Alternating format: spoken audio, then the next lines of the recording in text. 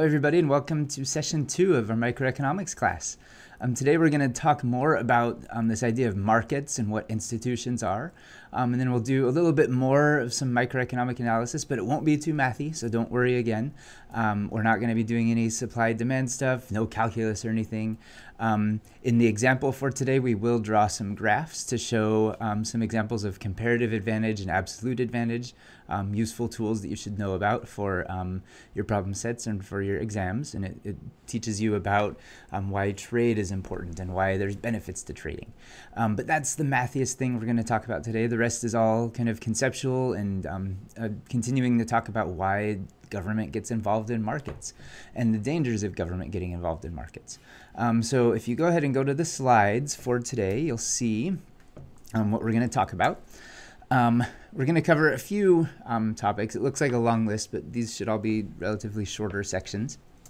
Um, first, we'll start talking about markets and institutions. Um, we talked about this last time with this idea of capitalist institutions and the idea of having private property and markets and um, firms. Um, but today we're going to focus mostly on the middle of those three, of markets and how market institutions work. Um, then we'll talk about this idea of how markets and trading and prices all help determine how well markets work and how efficient they are and how inefficient they are potentially. Um, so we'll talk about that. Then we'll talk about the role of governments in the economy and um, what they're supposed to do, especially when you're getting involved directly into markets.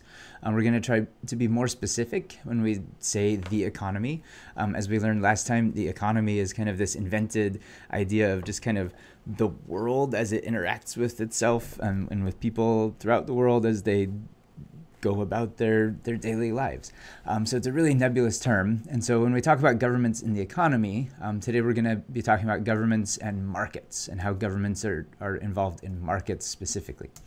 Um, then we'll talk about this idea of democracy and small groups in democracy and how this might distort um, what happens with markets and how governments intervene in markets. Um, and there's some risks there, um, especially when you start getting into small groups, um, because small groups behave differently than large groups. Um, and based on your reading of um, the Federalist Papers that you had for today, um, we're going to talk about what James Madison said hundreds of years ago about the dynamics of small groups and how democracy should, in theory, get rid of those, those risks, but it, it doesn't quite.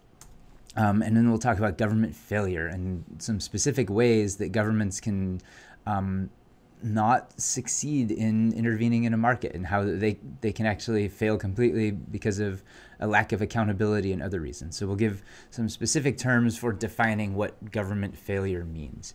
Um, so that's what we're going to do today. So let's go ahead and get started.